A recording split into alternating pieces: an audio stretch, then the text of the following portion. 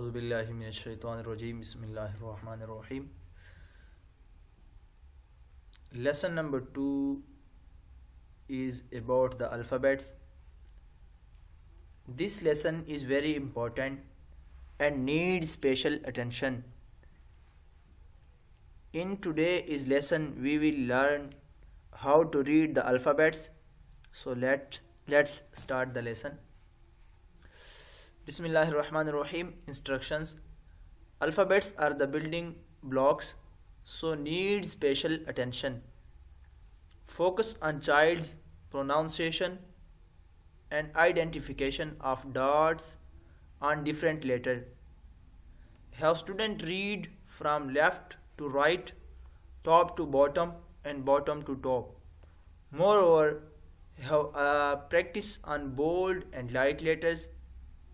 Remember, if not taught properly, both the student and teacher will be in trouble in the later lessons. So let's start the lesson. Alif Ba Ta Tha Jim خاء دال ذال راء زاء سين شين صاد ضاد طاد.